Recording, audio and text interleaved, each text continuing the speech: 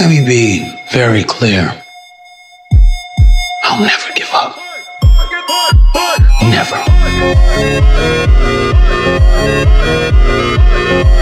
Never.